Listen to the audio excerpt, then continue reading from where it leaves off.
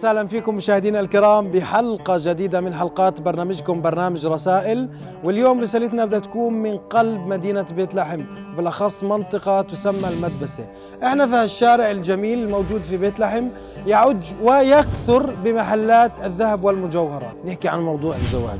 كثير منا بيطرق هالباب ولكن كثير منا بيلاقي فيه رفض وفي قبول.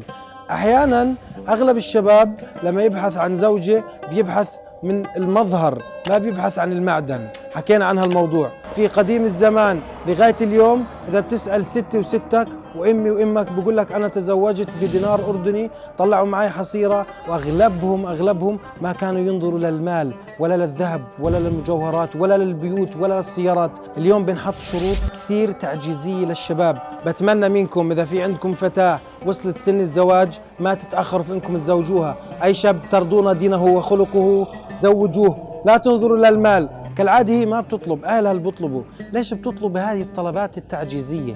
أغلب شباب اليوم مش متزوجين والسبب زيادة تكلفة طقوس هذا الشيء اللي يقام في هاي الأرض اللي هو أصلا نعمة مش نقمة. كالعادة شبابنا ليش بتروحوا لهذه التكاليف ولهاي المصاريف الزيادة وانت يا الفتاة كمان بالمقابل ما لازم تطلبي هاي الطلبات.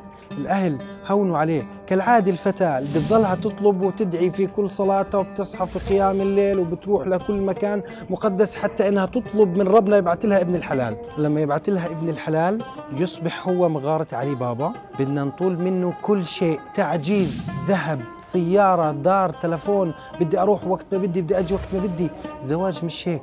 شراكة فكر. تشارك إنسانة لتعمر أنت وياها في هاي الأرض.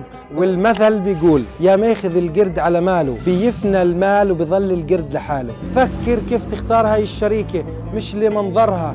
دور على الحسب والنسب الصالح. فكر إنك تقلل المهر على بنتك. أقل كنا مهرا أكثر كنا بركة. الدين الإسلامي بيقول هيك والأديان كلها نصت على قلة تكلفة المهور الموجودة. الأم أحيانا هي تصبح الدافع في إنه الإنسان يطلق زوجته أو إنه يبعد عنها أو تفرق بينها وبين ابنها. الأم تصنع سعادة ابنها طول عمرها ولكن عند زواجه بتحاول تفرق بينه وبين زوجته بطريقة مختلفة. تعتبر زوجة ابنها هي عدوتها بتحاول تمارس عليها ما مورس عليها في السنوات الماضية ايامات ما كانت هي كنة بين كناين. فكروا بهاي الطريقة. إحنا جيل شباب بنحب نعمر هاي الأرض بنحب نكون شرائك بين الزوج والزوجة بنحب يكون المهور قليلة جدا.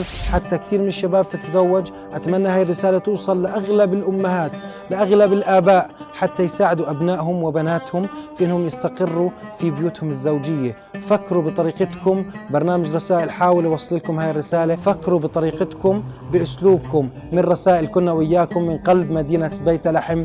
إلى اللقاء.